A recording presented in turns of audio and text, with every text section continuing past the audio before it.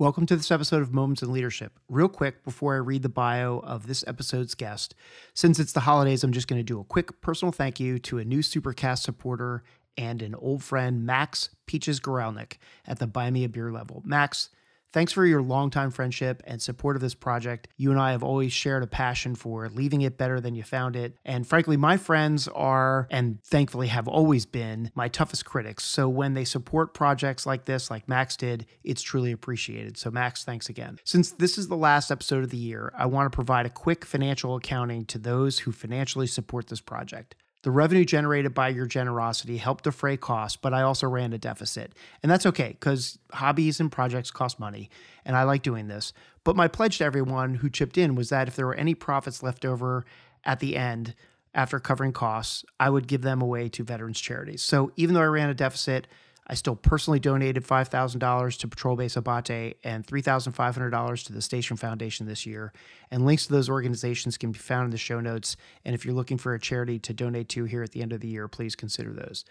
Okay, with that, this episode is with Major General Matt Smith, United States Army and he is the current commanding general of Joint Task Force North, which is headquartered at Fort Bliss, Texas. Prior to assuming command of Joint Task Force North in December of 2022, Major General Smith served as the Vice Director of Operations, the National Guard Bureau J3, 4, and 7 in Arlington, Virginia from February 2022 to December 2022. His Green Tab assignments which gets its name from the green tab on the service uniform epaulets underneath the rank insignia when a soldier is in a leadership position, include command of H Company, 121st Infantry Airborne Long Range Surveillance, while the company was deployed to Iraq in 2003. He served as the commander of 1st Battalion, 121st Infantry Regiment while the battalion was deployed to Afghanistan in 2009 and 2010. And then in 2016, Major General Smith assumed command of the 48th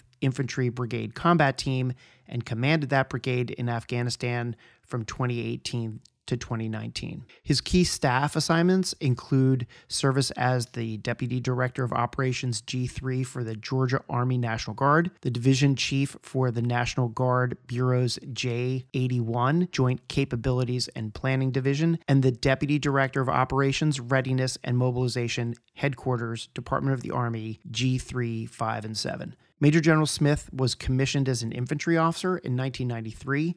He holds a Bachelor of Science in Business Administration from the University of Delaware, a Master's in Business Administration from the Goizueta School of Business at Emory University, and a Master's in Strategic Studies from the United States Army War College. He is also a graduate of the Harvard University's Homeland Security Seminar. Major General Smith's professional military education includes the Infantry Officer Basic Course, the Signal Officer Advanced Course, the Military Intelligence Officer Transition and Advanced Courses, Maneuver Captain's Career Course, Combined Arms and Services Staff School, Counterintelligence Agents Course, Command and General Staff Officer Course, the United States Army War College, Joint and Combined Warfighting School, Maneuver Battalion and Brigade Pre Command Courses, Dual Status Commander's Course course and the Joint Task Force Commanders course. He is also a graduate of the Bradley Leaders course, Airborne, Air Assault, Jump Master, Pathfinder, and Ranger Schools. Major General Smith's personal awards include two Legion of Merits, three Bronze Star medals, the Defense Meritorious Service Medal, eight Meritorious Service Medals. I mean, maybe I can get him to give me one of them,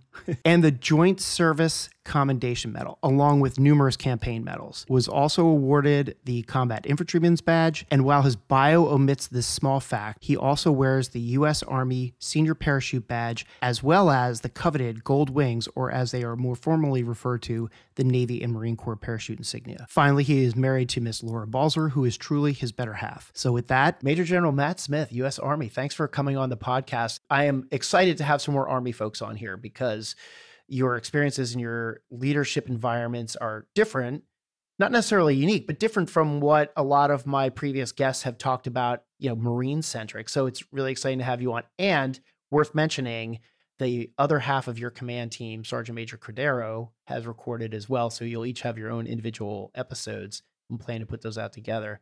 But this is great. Thank you so much for taking some time out of your busy schedule to talk to me and sharing your moments in leadership to help all those emerging leaders out there be leaving it better than we found it, right? Yep, absolutely. And uh, thank you, Dave, for giving us both Sergeant Major and I the opportunity. Although I'll leave it to you, we may want to do a tag team in the future because we we riff well off of each other.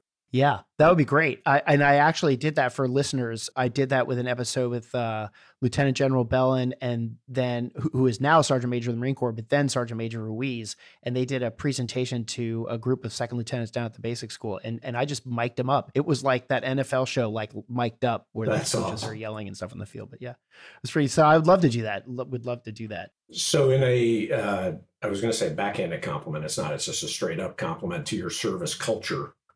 I always introduce Sergeant Major Cordero as not needing a mic ever. He mentioned that in the episode. Yes, here is Sergeant Major Cordero, who does not need a microphone. Yes. Yeah.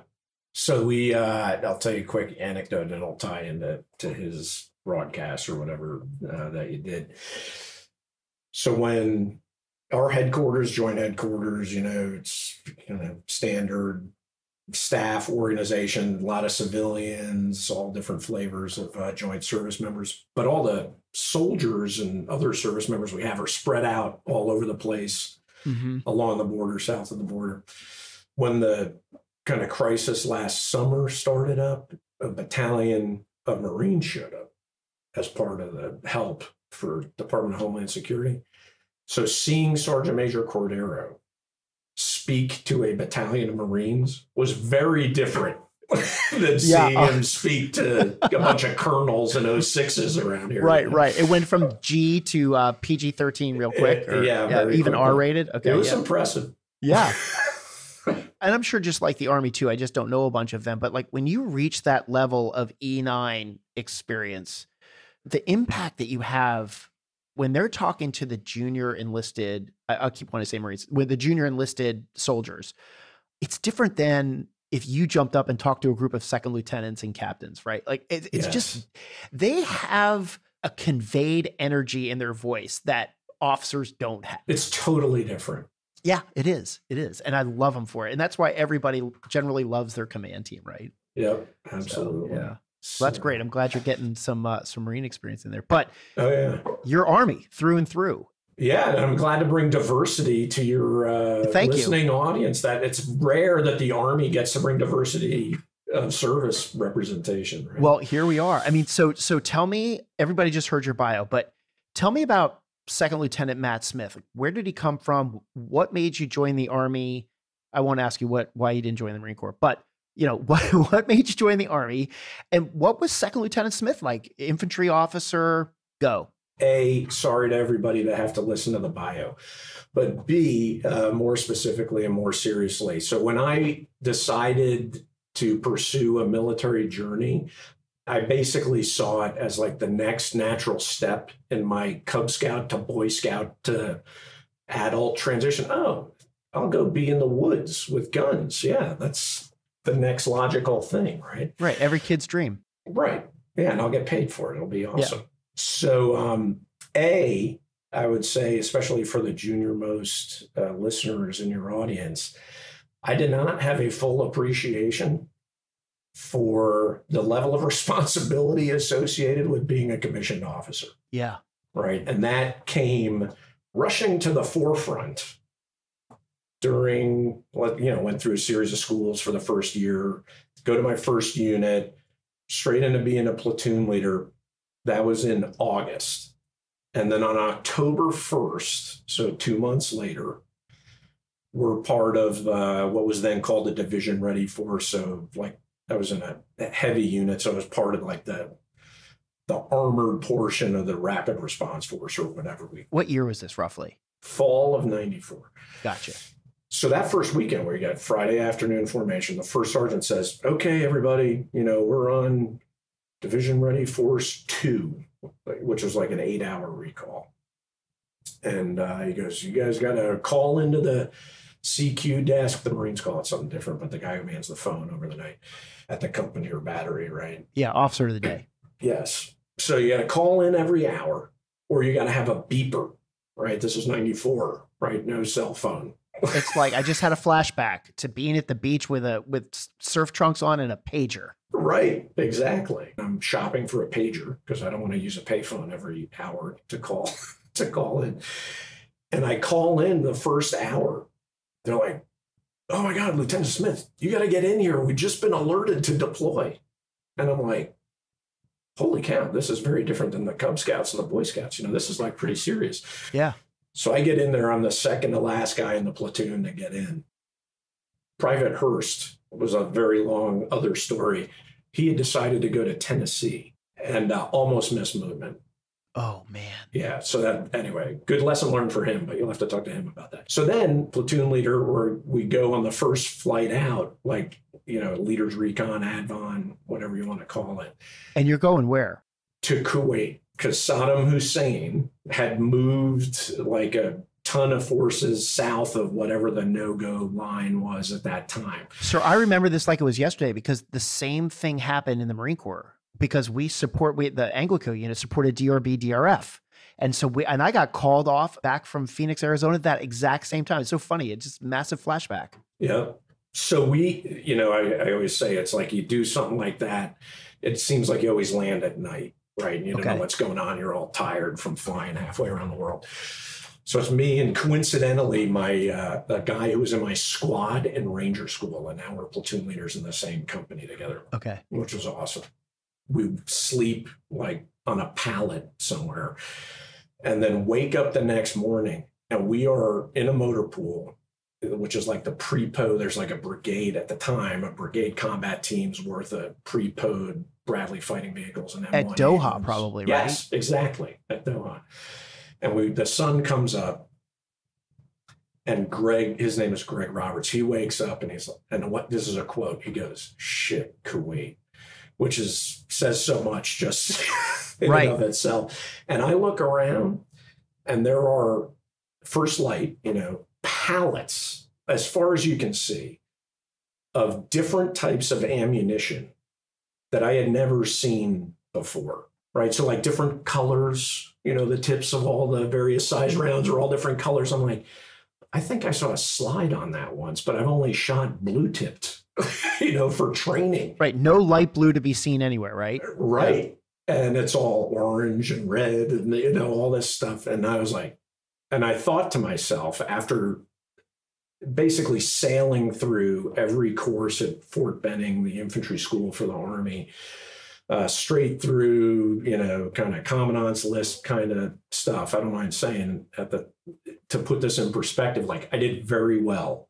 And I woke up in that environment and I thought to myself, no kidding, I thought I should have studied harder when I was at Fort Benning Wow. Because this is like pretty sobering. And then we went up and set a defensive position and waited, you know, dug in and waited for Iraqis to come with T 72s to come across the, Right. you know, the trigger line to start firing on. This was a Bradley. You said heavy, right? So it's Yeah, it was a Bradleys and Bradley tanks. platoon. Okay. Yeah. You know, cross attached M1 platoon and stuff. Yeah. But like to have that experience in my third month as a platoon leader has shaped the rest of my career. Because the only thing, like what I realized from that is the only thing I'm never going to get back is time. Yeah. And I was not mentally and emotionally, which is a whole separate discussion, prepared to lead, you know, then men in arm, direct action armed combat until like that moment, you know, and I should have studied more. You know what's interesting about that? Because I, I hear a lot of people talking about there's a whole generation of emerging leaders who who haven't been in combat. And then there's a whole either that complete component or a subcomponent of that feel like they missed out. My response to that is always, I'm telling you right now, you never know what you don't know. Because you think about all of the things that we think about the big wars, and I'll go backwards Afghanistan, Iraq, you know, maybe Kosovo, you can throw in there, Sure. Somalia, then you're Yeah. now you're down into Grenada and Panama and Desert Storm, Desert Storm stuff. Everyone has always felt like, oh, I missed the big one. And then the next thing you know, something else happens. Something else happens. There's a Haiti. There's a, Yeah. a- and and these things, nobody's really missed anything. No. You just don't know what's coming next, and you don't know when it's happening. Yeah. And to your point, like you've got to know your craft, you've got to know your job because you could get a phone call in the middle of the night and eight hours later be looking at ammunition and not know what it is. Yeah. exactly. And this is so I've used this line in you know kind of initial counseling sessions on the latter part of my career of you know time a like I just said time's the only thing we'll never get back. So I wasted all that time messing around at Fort Benning when I could have been studying harder, even though I did fine, you know, academically or whatever. But I wasn't a a student of the profession as a nascent second lieutenant. Then there's all this stuff, like, and actually, General Mattis writes about this, or excuse me, Secretary Mattis writes about this in his book. You know, there's the whole historical aspect of learning from others' mistakes by reading history about the profession. Right. Right. That's like, uh, you know, cheating on the proverbial test in a good way, where, you know, the ultimate, perhaps arguably the ultimate sin for a professional military leader is to make the same mistake somebody else made that you could have read about and prevented. Right. You know, and God forbid somebody pays for it with some blood, you know? Yeah. Right. I guess the first thing I would offer is the the importance of internalizing early, especially for commissioned officers, right? Because so much responsibility is levied as soon as you raise your right hand and take that oath. Is like really understanding the legal and professional expectations that are behind that oath. And I don't think, at least my ROTC program, although I loved it and learned a lot of great tactical stuff, it was lacking in that regard you know and there's probably some balance there because you don't want to scare people away but it's serious business. It's not like it's not like advanced boy scouting which was my perception you know? Yeah that's interesting you say about because i was an rotc guy too and and i you made me just flash back. When i was in rotc i was learning things like naval history marine corps history and pt and land nav yeah a lot of pt land nav and rifle marksmanship right? And some some general squad level five paragraph order like Yeah. orientation, let's call it, right? I kind of wonder if there's a little bit more of an opportunity to be teaching people some of the technical aspects of being a leader earlier on in ROTC. That's that's a really interesting thought. Uh, Navy counterparts in ROTC, they were learning navigation. sure That's a great skill. yeah I don't really remember what I learned in the Marines other than marching, PTing, land nav, history, squad level, five paragraph orders. And maybe that's enough for ROTC. Maybe it's not. Interesting. Back to your second Lieutenant Smith, right? Mhm. Do you have a story about the first couple years in your career, or maybe it was even the Kuwait, the Kuwait deployment that you went on, where one of your enlisted soldiers grabbed you and was like, "Hey, sir, let me save you from making a big mistake." yes Yeah, can you tell me about that? Because absolutely right, because all the enlisted soldiers and Marines and airmen and sailors, they, they love these stories, right? Hey, here's General Smith. You're going to tell about the time he screwed up as second lieutenant. Go. Right. Yeah. So literally the only time I almost messed up land navigation. We're still overseas. Saddam turned around or whatever. And we just spent, you know, basically like three months doing live fire training, which is awesome and an incredible other developmental experience. But anyway, so one night we're moving back to our, you know, kind of defensive positions. I'm like drifting one way, and there was no GPS back then, Right. right? There was a Magellan. I don't know if you remember those, the big green screen thing. It, like, it was, it looked like a book, right? It had Yes. a digital, and all it did was tell you the grid square you were at. that's right. That's right. And we had like four of them for the like the company. Each officer had one basically. Right. Right. Well, in the Army, maybe. Right. Right. in the Marine Corps, like the regimental commander had it. No one else. the low budget Marine Corps. Yeah, exactly. so, but I didn't use it because it was freaking gigantic. You Yeah, know? So I'm just like doing it old school, the way I learned how to do land out. But you're in a desert, a little harder to terrain associate, you know. So I start, and we're lead. I should I left out the key point, which is we're leading a company movement, right? So like platoons in a wedge, company in line. So there's like another what would have been 10 or 12 vehicles behind the four of us, and I'm leading the whole thing. And my wingman, Staff Sergeant McCullough, says, Hey, sir, you know, on the internal net, I think we need to go a little bit more to the left. And I, um, and as soon as he said it, I was like, Roger that. we corrected, but it would have been a mess. We would have been like going around in circles in the dark, in the flat, you know, Kuwaiti desert, which many of your list, more senior listeners have probably experienced. That would not have been a fun time for Second Lieutenant Smith. Yeah, all the way up through Udairi Range, probably. Or the, yes, yeah. exactly. You always hear, well, I feel like officers always hear the jokes about how officers can't land nav and all of that. I mean, generally, they can. Can't spell loss without LT. Right. yes. generally, they can, but like, it, there's there's such a huge swath for making a mistake. Right. it's kind of easy. But from the enlisted soldier marine perspective, land nav, I think there's two ways that those NCOs can handle it. They can be like, lieutenant's lost, and they don't do anything about it, or the lieutenant's lost, and they're like, hey, sir, and they save them for the listeners, uh, the reason uh, Dave gave the caveat about copywriting stuff is this idea I've had or been suggested to me of, hey, you should write a book about some of this. And I'm not, this isn't like all the material that we're going to talk about, but I am contemplating, I haven't done the research yet, so this may already be out there, titling the book on leadership, Don't Be a Jerk. Right? Is that a strong enough word?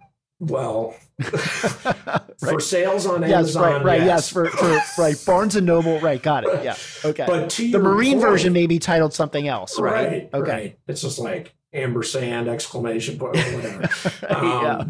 So, but to your point, starting from a position of humility as a junior commissioned officer, mm-hmm. recognizing that a you don't know it all and B, there is priceless wisdom to be gained from all these other leaders that technically work for you. Right. It like Staff Sergeant McCullough, if I had been a different, I think, different type of person, could have mm-hmm. easily let me continue to drift to the right with the company commander behind me and everybody else. Sure. And uh, turned into a cluster, you know. Yeah. I think back to my lieutenant days and I don't really remember what kind of lieutenant I was. So I'm going to say I was okay. Let's just okay. I wasn't the kind of officer where people were trying to make me look like an idiot. For the most part, the NCOs would, would grab me and be like, hey, sir, right? So, and I look back on that and I think that was probably one of the most formative things about being a lieutenant was I was at least good enough to where the Marines didn't let me show my ass. Right. Which is a great thing to shoot for. Uh, right, I think so too. But in order to do that, you've got to be a you've got to have a lot of good EQ. You need to be a likable person. And there, there's a difference between being a likable person and wanting to be liked by everybody. Two two totally different things, right? That's that is a huge point. But here's what I always like to say. I'm going to turn this into a birthday ball speech, but the future commandant of the Marine Corps is out on active duty right now and is a lieutenant. Yeah, that's a great point. So there's a four year swath of being a lieutenant. There's a four year swath of being a commandant. So there is a lieutenant out there that is going to be the commandant of the Marine Corps. Yeah. I will guarantee you that the probability of success for that lieutenant to actually become the commandant will 100% hinge on the relationship that he or she has with their, and I'm going to use pay grade ranks here to make it yeah, E4, E5 NCOs. Right. I know the Army E4, but, but right. right. Okay. Junior NCOs.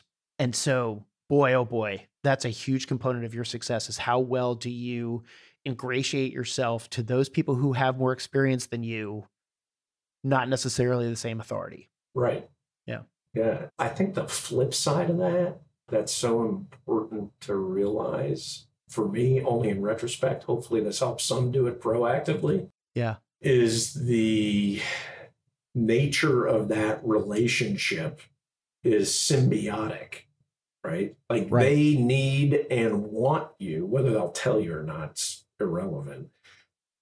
But they need and want you to be successful because someday their life may depend on your decision making. Yeah. You know? Right. And we, especially as commissioned officers, should, like I use this line, we should never disregard the counsel of an NCO right? So that A implies you seek the counsel of an NCO, right?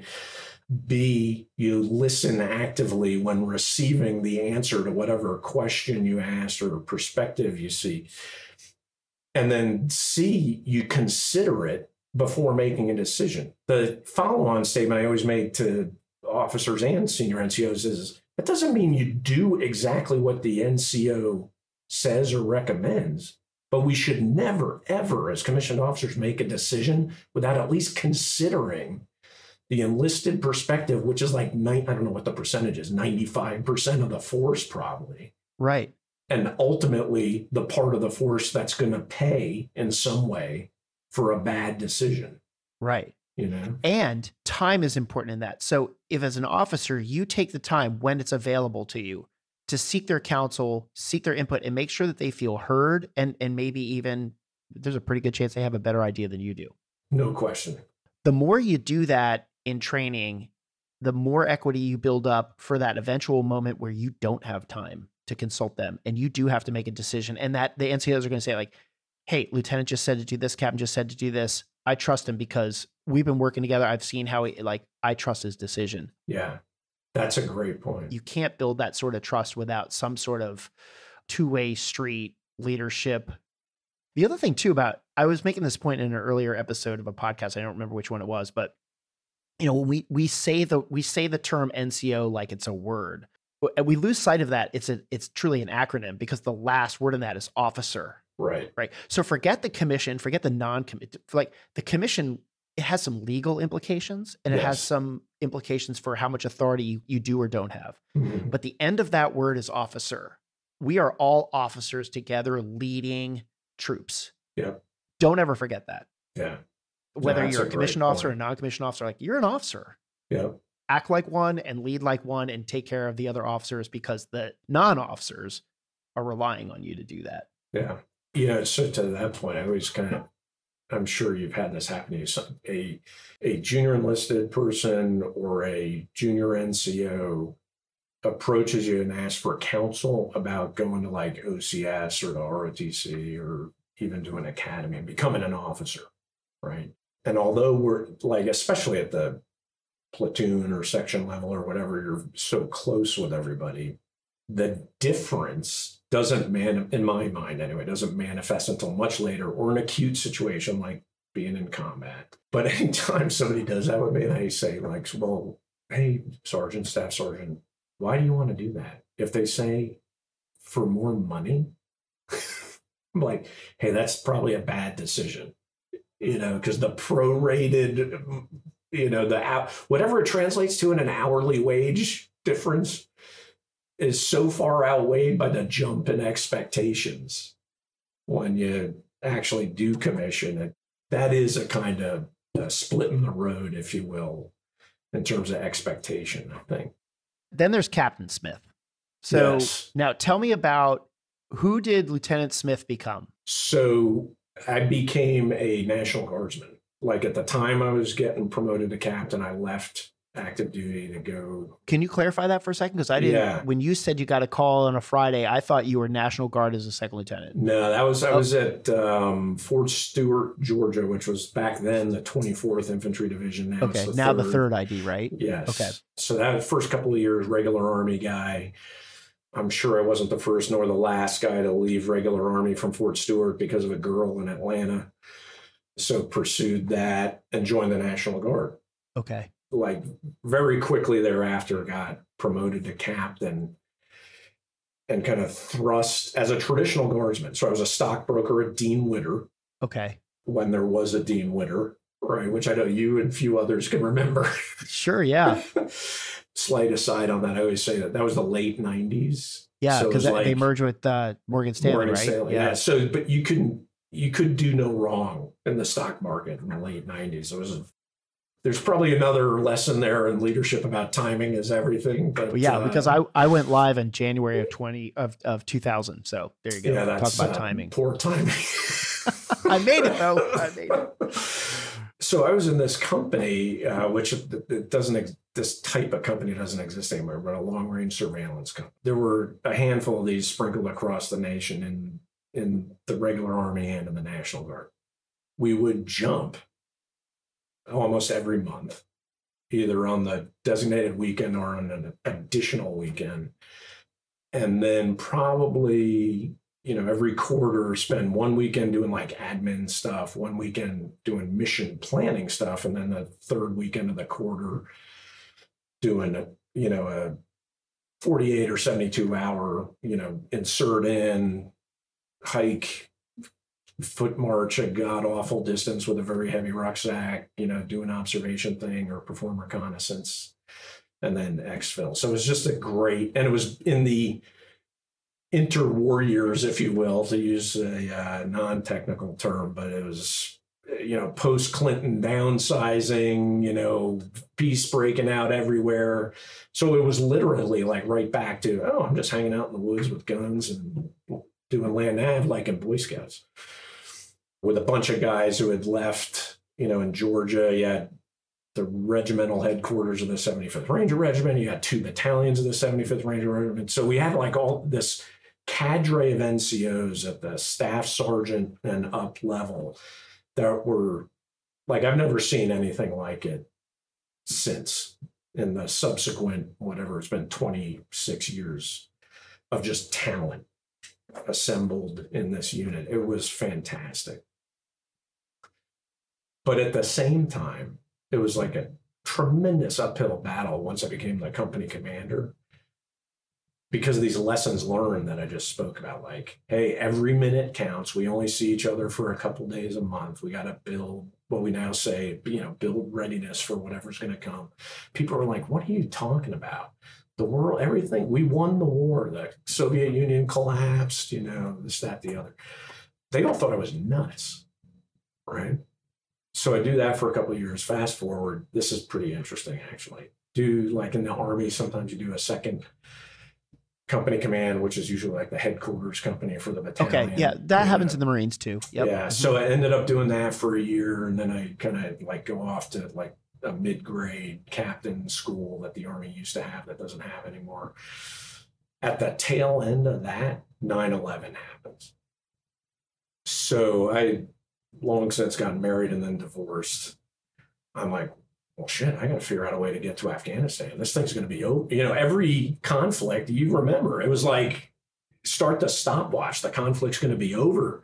Once the Persian Gulf War was over in 100 hours, everybody thought they were going to miss out on it. Yeah. Right. So I'm like, man, I got to get in on the fight. Right. And this goes to your previous point. It's like, be careful what you wish for. right. And then uh, there will be something for everybody along the way. Right. So I think about going over to Alabama had an SF unit that was going to get mobilized, a guard SF unit that was going to get mobilized to go Afghanistan. I go talk with those guys for a little bit. And then like the weekend after I visit with them, the battalion XO from the unit I just left, where I'd been this LURS company commander and then the headquarters company commander in a, a year prior, calls me, said, Hey, we got to relieve the LURS company commander. You want to do company command again? Oh. Right. So I'm like, sure. Why would I? It was so awesome the first time. I might as well. And the LURS, just to my Marine world, I need the I need an orientation here. It's a company of long range reconnaissance dudes. So are they broken into platoons? Like what is the quick quick task organization there? So 36 teams, three platoons, six teams each, led by E6s. Okay. And the unit of operation is the team. It's the six man team. So it's the legacy structure from the LURPS in Vietnam. Okay. Basically. Okay. So six man teams, what are lieutenants doing in that company? Managing the planning process, resupply if necessary, infill, exfil.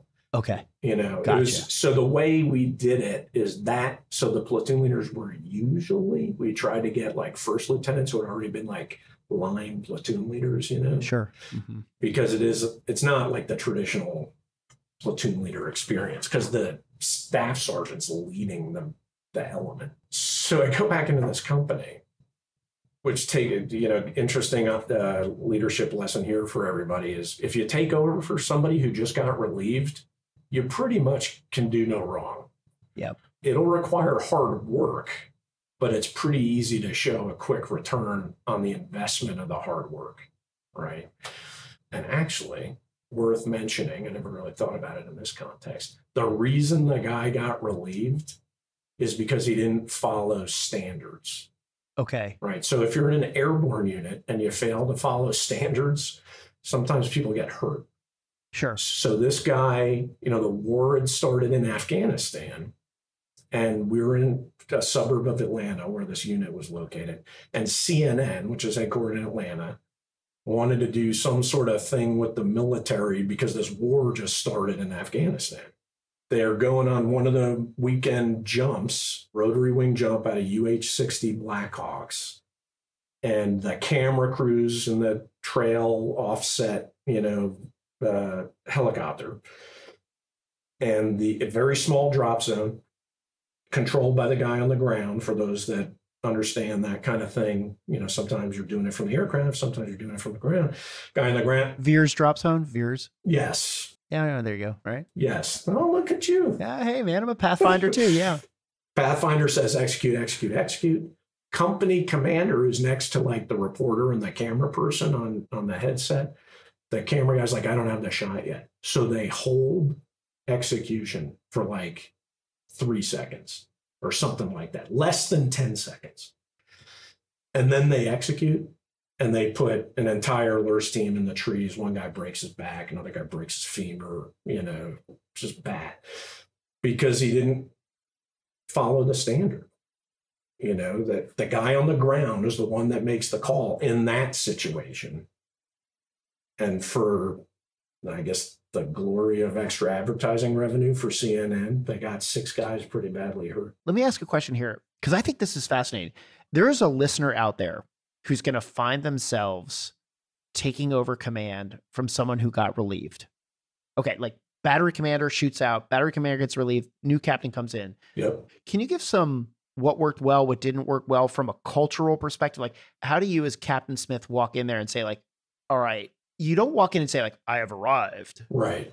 I'm here to save the day. What is a tip based on your experience with that that you can give to an emerging leader who will find themselves, himself, herself, in that position someday in the future, based on your experience? What sort of advice do you have for them? So that is a great question that makes me think I should think about this more. Listeners can't see me, but my dad always used to say when I was growing up, Oh, Matthew, you're sharp as a marble. And then I shaved my head and he said, Oh, and now you look like one.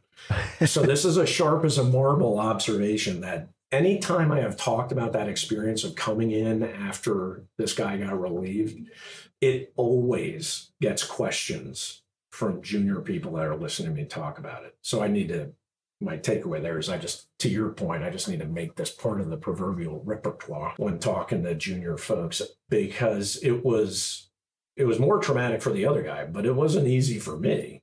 That's kind of what I was getting at. was Yeah. There's not a change of command. No. There's no, right? No changing the guidon. Yeah. So what happened? Like, so to that point, I, the first GO in the chain of command walks by the room where I am waiting with the captain and trail.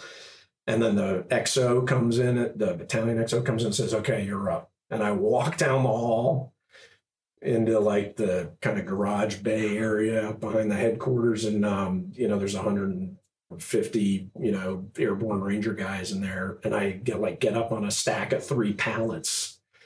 And I'm like, okay, men, I'm the company commander now Right. you know and then what happens well you know we just had you know a team of their buddies get badly hurt it was like how do we kind of put humpty dumpty back together again because they all felt like crap Right.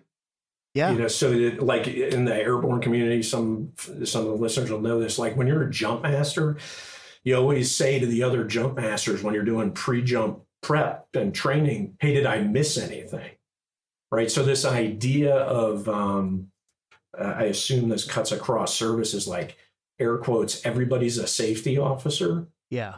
Anybody could have stopped that accident from happening Yeah, that's true. you know like everybody knew it was a six second drop zone and they waited three seconds or whatever Right. and that kind of lesson could probably be applied uh, across the board to any branch any functional area or whatever in any service there's always room for common sense to step in and prevent somebody from making a bad decision Right. right so to that point the first task straight to your question dave is how do you put Humpty Dumpty back together again? Yeah. And it was right back to the basics. We're gonna, you know, we're not we're canceling all future airborne operations and we're starting with airborne refresher training. Remediation. Yeah. And you just start building back from that. It was interesting. Okay, just a quick reminder that if you can help support the project, there are links in the show notes to my Supercast site, which has membership levels to help me defray the costs associated with this project. Any money I have left over at the end of the year is donated to veterans organizations. And you can also find links to merchandise, which helps as well. And of course, leaving reviews on Apple Podcast, my YouTube channel, or Spotify are also free ways to help with this project as well. Thanks. That gets me onto like, uh, I'm building a soapbox to stand on here someday, but when we talk about safety and risk aversion, I, I have this, I don't know, if I was going to write a PhD dissertation and defend it, I, I just have an MBA. But I, I stopped, didn't want to do it. Defend a dissertation. I'm going to make some money. So if I was going to create a dissertation, defend it, I come back to this risk thing. I was recently having a conversation with somebody about safety stand down. There was a safety stand down that happened in the Marine Corps recently because there was an Osprey crash, there was a F 18 crash, there was a, um, a howitzer that shot where it wasn't supposed to, and there was a hum, uh, Humvee, a JLTV that was that was destroyed. Yeah. And so lots of stuff all happened at once. And when that happens, just like in the army, I suppose there's so, somebody says like timeout, safety stand down. So I was asking this other senior Marine leader, like, what good does a safety stand down do at the infantry battalion when it's an Osprey crash, an F 18 crash, and a howitzer that shoots out? Right. And I was just, I don't know, I was throwing a little gas on the, I was just trying to have an interesting conversation. And this idea came up uh, a couple episodes ago. I had a Vice Admiral Bill Merz on, who is a nuclear submarine officer. And he was talking about how when there's a, a problem on a nuclear submarine, which, by the way, big deal, right? Right. Only if it's underwater. Yeah, I know some guys went into the trees, but like, you know, nuclear reactor. Right. Okay. So, Higher GT score on that right, right. But he was saying that that when there's a mistake made, their version of a stand down is they they decertify somebody and then they have to go through a whole certification process again. And what that means is that they've got to go through every single station, whatever, Yeah. and that requires every single chief or officer that is in charge of that station to freshen their skills up because they have to recertify that Yeah, person. that's. And I said, I said, but at the end of the day, that person's getting there's no recourse. There's no adverse evaluation. There's no getting Hmm. fired. They literally remediate the person and bring them back into the fold and they say, You have earned the right to be a watchstander again. So Wow. never and I said the same thing too. Wow. I thought, okay. That's pretty interesting. Right. What if our safety stand downs were just remediations? Like, hey, like you were just talking with the airborne thing. You start over with the basics. Guys, we're going to take the pathfinders out. We're going to talk about VIRS. We're going to talk how to calculate the offsets, how to read the winds, how to do the execution. And hey, jump masters, we're going to talk about when you hear execute, execute, execute, that's when you're tapping guys out the door. And I just wonder if there's some sort of conversation to be had at any service at any level about stand downs versus remediation. What if the safety stand downs were for the next 72 hours, let's recert everybody on on the important things that they do. And in a howitzer section, it could be just how to load the gun and shoot. And we're going to just go through all the steps of checking the fuse setting and checking deflection, Right. elevation, things like that. In the infantry, it could be like, hey, just basic loading and unloading, dis and ass of the weapon, any of those things. Yeah. I, I don't know. Sidebar. That's an interesting thought. Yeah. But now as a captain in your career, oh, oh, wait. Can I just talk about, like, so let me, on the topic of safety. oh, please, this is your podcast. So here's something I'm sure the Marine Corps is virtually infallible, but here's a, a cultural problem I've seen within our, my beloved Army. Okay. And that is like we talk about safety and we talk about risk management as a way of maintaining safe behavior or trying to, right? But for the, the vast number of years in the earlier part of my career, nobody is certainly as a as a company grade officer, nobody ever put it in the context for me of being in combat.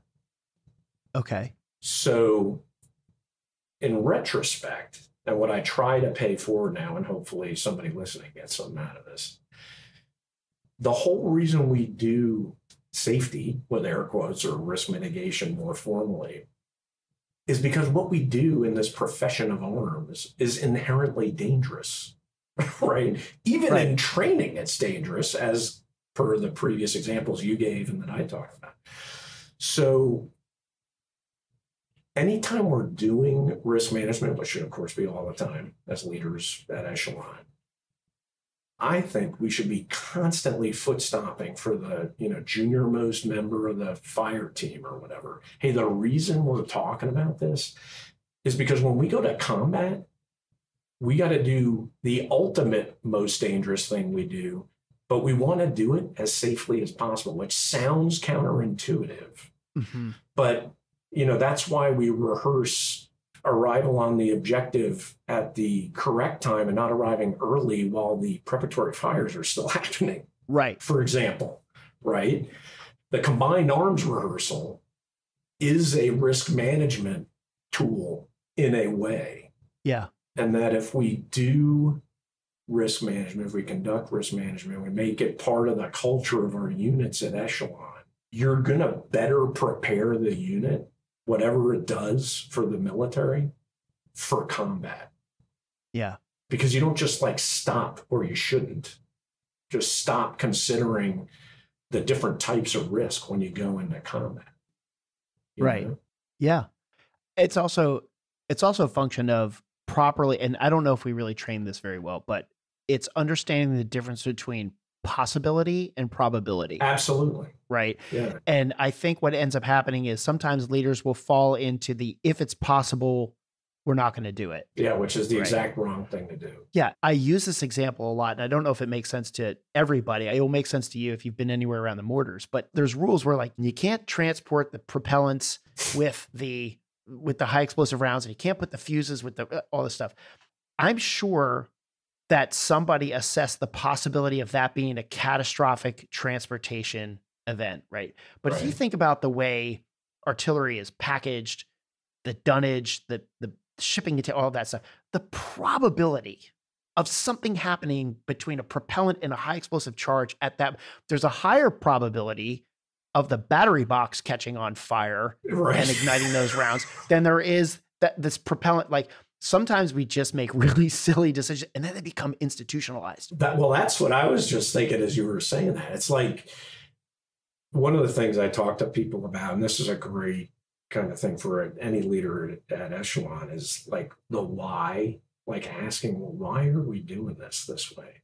So that I don't know, but that example that you just gave, that could have started when we used caissons for all I that, know. That's right. Right. Know, yeah. Technology and packaging and other things, you know, have evolved significantly since then. So maybe it, the risk has been mitigated sufficiently that we don't have to do it anymore, but we still do it because do it's become, you know, part of that right. culture of the field artillery. Yeah, right. Exactly. So, as Captain Smith, yes, I'm going to ask you to think about yourself as senior Captain Smith. So maybe I, I like was okay, like but already been selected for promotion major. At that point in your career, you've had an awesome vantage point to see leadership up and down, right? You've seen lieutenants working for you. You've seen lieutenants when you were a lieutenant, and you've seen captains, majors, colonel. And then you're a company commander, so you've had a lot more interaction with the battalion commander, maybe even regimental commander or brigade commander. And then you've got the lieutenants and staff NCOs and first sergeants that are working for you. Can you tell me what the best lesson you ever learned from the worst leader you ever saw at that point in your career? I'm trying to think of who the worst one was. There were so many. Ouch. well, to put that in context, there were some, many good ones too. Yeah, but, sure. So the, the Guard, the Army National Guard, was very different prior to the start of the global war on terror than it is today.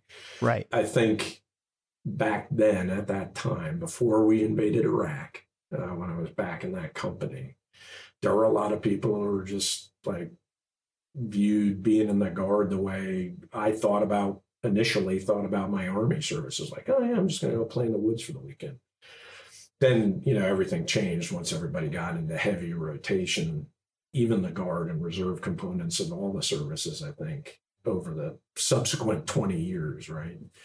So, in terms of learning from bad leaders, I mean, like those lessons, they were not bad people, which is a whole separate problem, right? And those leaders are out there. there there's, there's a very small number in my observation and assessment, but there are like sociopathic people out there that are unfortunately in some in charge of some number of other human beings within our Department of Defense. And but fortunately, I think we do all the services seem to do a pretty good job of screening those out early on.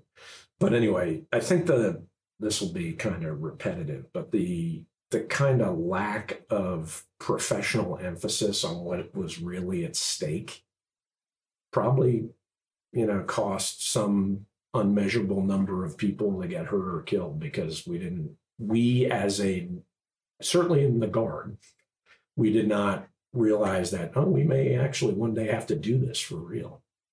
It just wasn't a thing. I mean you set 100 hours of desert storm you know it just nobody ever thought unless you had one of those significant developmental experiences previously no one ever thought we were actually going to have to go to war like when I would talk to that same company, and these guys are like pipe hitters, they're all like, like I said, airborne ranger guys out of the special operations community. They're like, we're not going to war. What are you talking about? You know, it was just a very different time. I'd love to ask you because it's an easy question to ask and maybe a hard question to answer because you're a general officer. Mm-hmm. But can you tell a story about a personal failure of your own that was really formative to you and is also instructive to tell the story about? Yeah. So this is related to the, my earlier comment about the guy that got relieved not paying attention to standards, right? Or not considering why standards are in place. Like I've never read this in any military document anywhere, but I think all our services have all these rules and regulations or standards of different flavors as part of some past transgression somebody transported the ammo wrong. Yeah. and the caisson blew up, and we're like, well, we can't do that again. But that like applies to property accountability. It applies to how we do maintenance on wheeled vehicles. I mean, everything, right? So discipline and adherence to standards. Here's here's the lesson I use. I will use this in a couple days. I think uh, ten days when I do my first initial counseling for these new forces coming in to help Homeland Security here on the south southwest border. So there I am. I'm back in this company with all these pipe hitting guys. We get the call on it. We're in a guard unit, right? One week, maybe two weekends a month, like I said earlier. We get called on a Tuesday in uh, February of 2003. Hey, report to the army, armory, excuse me, on Friday. Bring everything the army has ever issued you. I'm like, what do you think? You know, I got the first call. I was the company. What are you talking about, sir? Hey, we're going to war. We're invading Iraq. I was like, what? You got to be kidding me. I'm in the guard, you know. so anyway, that happens. Three weeks later, we're landing in Kuwait again, and we end up on this pretty unique mission as part of the OIF, what became known as OIF one, right? So the Marines and 3ID roll through, everything's smoking, and they, you know, it went as similar to Desert Storm, much quicker than anybody thought. Thankfully, no chemical weapons use because that was a real thing back then. I always think about that when I get like a waiver request for a guy who wants a beard. I'm like, we'll see how you know devout you are about your beard when you're facing a Scud missile with like you don't know what on it, right? Uh, and a lot of funny stories about that. Saw a guy deliberately inject himself with atropine one time because he thought we were being gassed. That did not end well for him, but that's a whole funny separate thing. Anyway, so we um, this company of all these pipe hitting guys gets assigned because the war's over, so there's no mission for a long range surveillance. And are you in trucks? Like you're not in Bradleys? We're right? in soft sided Humvees. Okay, so you're like a Marine Corps unit. Yes, but with better rifles. uh, yeah. That's another funny story, actually, for junior leaders. So we get issued, you know, we're in the Georgia Guard. Yeah. Yet a couple months beforehand, they issue us M4 carbines with ACOGs and uh, CCO, close combat optics. We're like, holy cow, this is so cool. You know, this is awesome. Yeah. Well, it turns out they did that because the war was coming. You know, so if your unit yeah uh, for the leaders out there, your unit just out of the blue starts getting all this new super high speed new kit. you may want to get your personal affairs in order. That's what I yeah, would especially if you're a Marine because they don't hand out new That's stuff or right. anything. Right. Yeah. Like you get a new set of boots issued in the Marines, you better like get your will set. right, yeah.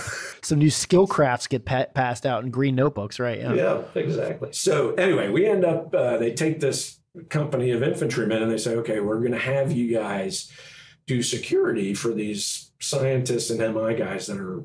It was like a subset of looking for the weapons of mass destruction.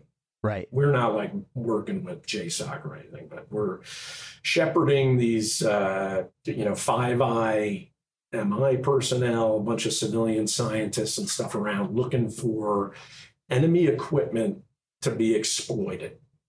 Right. So we'd get like a somehow get like a report that says, hey, go, there are MiGs buried in the desert out west of Fallujah. Go check it out. Right. So we would go do that. Anyway, so the lesson here comes from this situation. So this thing's led by an Australian brigadier general. I'm still in touch with, fantastic leader. We get in our first firefight that involved a, you know, it was like a complex ambush, IED when nobody knew what an IED was. And and the guys perform well, they kill the bad guys. And we do an AAR, which is another great lesson. You don't just do AARs in training like we did an AAR for the combat engagement. It was very instructive because nobody had ever been in one before. Right. know? And then the Australian brigadier says, Hey, you know, in his awesome accent, he says, Man, why don't you have the boys come over and we'll uh, we'll have a Foster's tonight. Just take the edge off. So I think to myself, back then, I GO1 was a thing even back then in the earliest days. I know US forces aren't supposed to have alcohol. But these are all guys I had served with previously as their company commander. Now I'm their company commander again. We're all in combat for the first. I'm like, what could be the harm? What are the, forget that policy. This I just had this Australian one star tell me we could have a beer. Nobody gets schnockered. We're not doing keg stands or anything, but everybody goes and has one of those giant Fosters because the allied partners are not under the same constraint, right? So this is impossible to prove, but I feel a tremendous sense of responsibility for knowingly violating that written standard. Because fast forward a couple months, that just became the SOP. Nobody's getting schnockered, but we'd have an engagement, enemy engagement, and do an AR, go over to the Australian compound, have a beer. That failure on my part, in some small way, maybe a major way, contributed to one night one of our platoon sergeants who had been a uh, team leader in the 75th Ranger Regiment, regimental recon. So this guy is static line jump master, military free fall jump master, scuba, done all manner of I don't know what up at the farm in Virginia. You know, just arguably one of the best trained guys in the U.S. Army at that time outside of special operations. He goes over to see some of his buddies in the JSOC compound. He's coming back, low light, you know, Humvee headlights weren't back then very good. The driver E5 sees an obstacle on the road, swerves to miss this pothole obstacle thing and flips the Humvee, kills the E7. Ugh. Humvee lands on the driver on his femurs, and he's crippled for life. And my lesson, which is this is a very long story to get to the point, is in some small way, my knowing violation of that written standard, which was there as a risk mitigation measure, hmm right, led to Sergeant First Class Chris Willoughby's accidental death because he was out having a beer. And by God, the company commander had previously endorsed having a beer. You know, like I can talk about it now without breaking down, but for years, I could not talk about it. And just, I would just reflect on it, reflect on it. How do I attempt in some lame effort at a mea culpa to his wife and two young sons to turn this in this lesson into something good. So now I talk about it all the time. And I always put it in the context of, hey, all these standards are there for a reason. They've probably been notwithstanding the potential stupidity of how we transport mortar rounds and fuses, they've probably been put in place because of some significant transgression in the past. Yeah. Understand why they're in place. Like that's the ask why question. And if those conditions still exist, like if those reasons for putting the standard in place still exist, then follow them because you don't want to learn this lesson the same way I did. Yeah. You said that it took a while for you to get over it. I suspect that any emerging leader listening to this is going to face a very similar situation where they feel responsible for a death. Do you have some advice on things that helped you kind of reconcile that and then make some progress to where you are today where you can actually talk about that story? Or was it just time? So, A, talking about it helps to that point you just made. There is a, uh, it's not a euphemism, let's call it a cliche. I, get, I don't know. I don't know what the right word is, but the phrase time heals. Yeah. That is a thing. I believe it too. Yeah.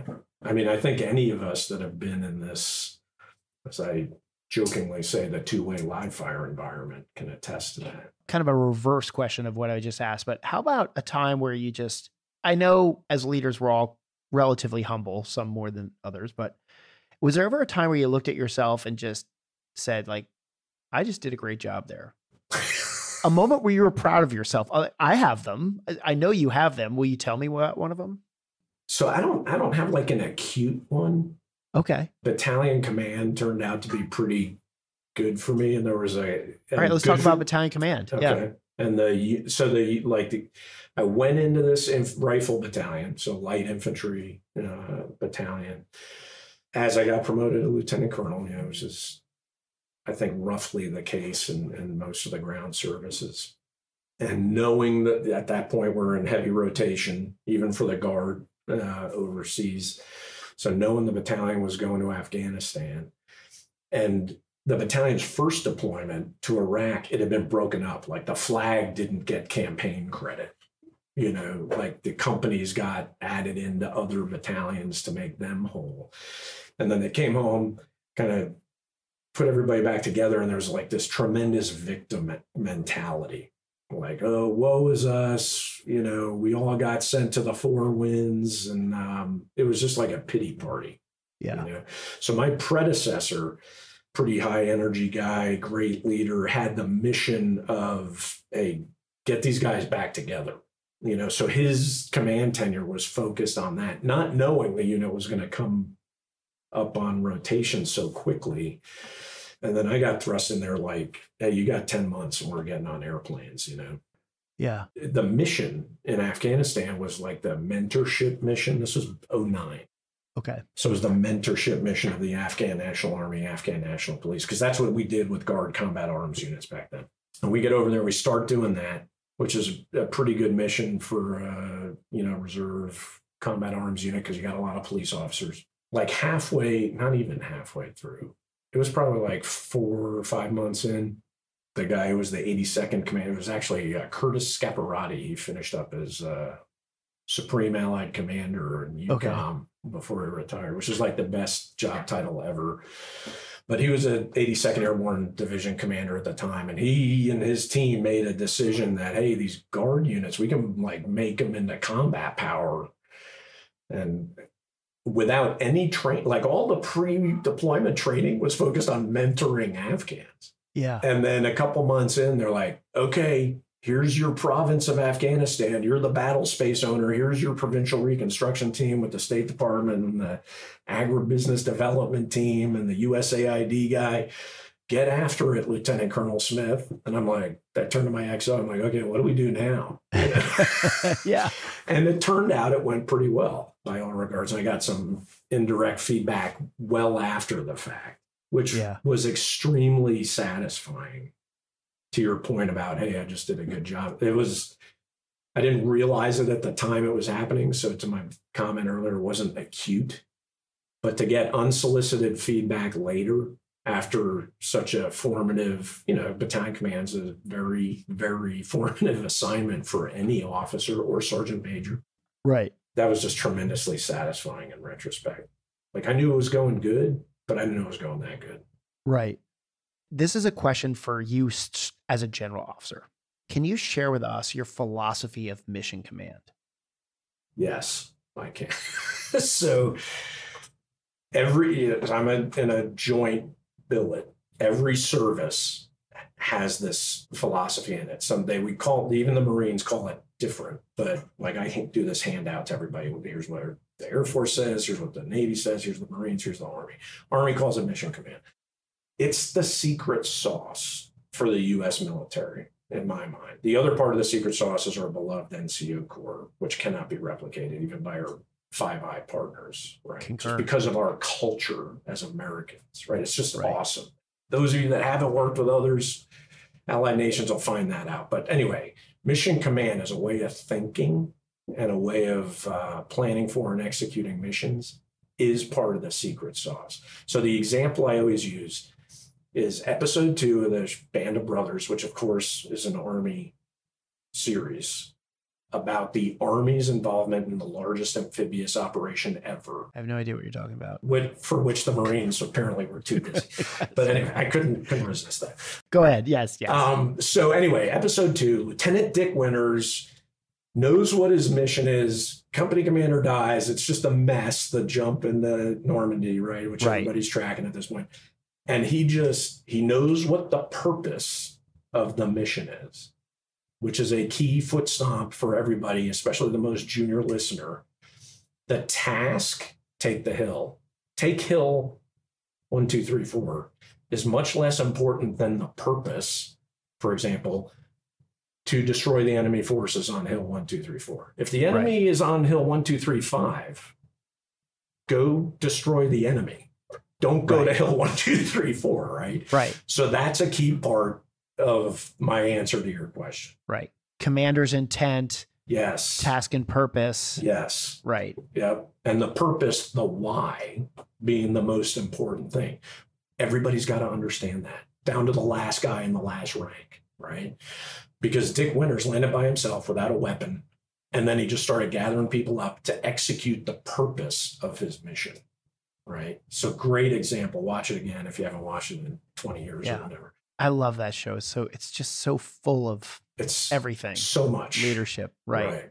I hear people make fun of Captain Sobel, right? Yeah. And this is just a quick one for the listeners. I'm going to let you jump back into it. But like, yeah. look, no officer aspires to be Captain Sobel. No. So get off that. He thought he was doing the right thing. Yeah, he did. But nobody, right. Yeah. Okay. Carry on, sir. So, so for commissioned officers, who are at some point going to be commanders. Yeah. Write your own commander's intent. Like when I hear of people who, and I've like seen this happen with 06s. A guy said to me, Hey, yeah, I, you know, I, for the first time, I wrote my own commanders. This guy's like in his second year of brigade command or regimental command for the Marine Corps. I'm like, what are you talking about, man? Yeah. The most important thing is the mission and the most important that is the, of that is the purpose. So if you're the person, guy or gal in charge, and you're not writing it yourself, you're like missing the whole reason of why we're here. you know? Yeah. And then here's where the NCO Corps comes in. Communicate it in a way so that people understand it.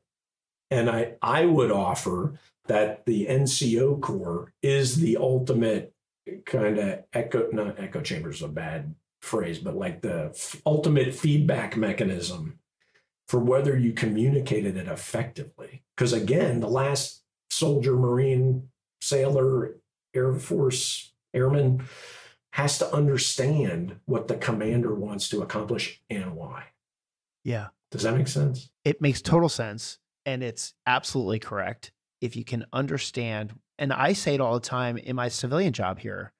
You know, I mean, you know the folks here. I I say, hey, the, the intent of this thing is to do X, Y, Z. Yes. And they understand what I mean by like Marine Army got get it like that. Right. They, they I have to like explain what I mean by that. But then once I did, I'm like, hey, the intent is to get this done. Like, I don't care how you do it. Just right. you know. Yeah. And that resonates even in civilian leadership too. So the things that people learn about commander's intent and, and mission orders and things like that in the middle, it, it carries over really well into the civilian world too. So I'm glad to hear that because at some point I'm going to have to retire. I think you'll be very successful.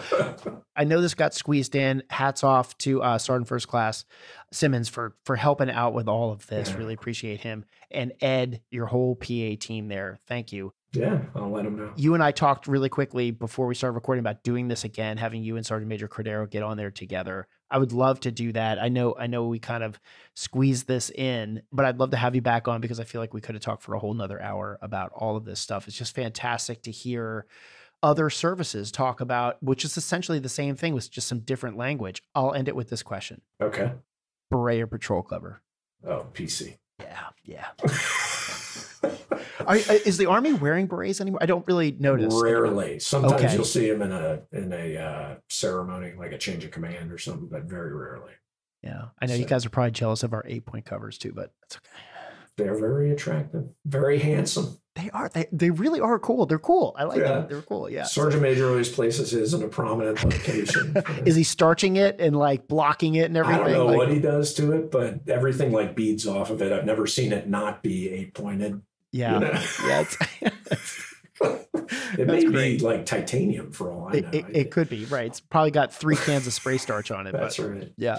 Well, hey, sir, thank you so much. Really appreciate this. I know your your wisdom and, and everything that you've learned throughout your infantry community time and your leadership time and what you're doing now. It definitely got to get you back on, sir, so we can talk about this some more because we didn't even hit on brigade command. So we got we'll definitely have to do this again. It all starts with being a lieutenant. Uh, that's right. Right. So, I, so there's a song by uh, a guy named Baz Luhrmann, which is really just a. Uh, it's like a graduation speech set to a beat, okay. and there's a one of the last lines, and it's basically like a series of random pieces of advice.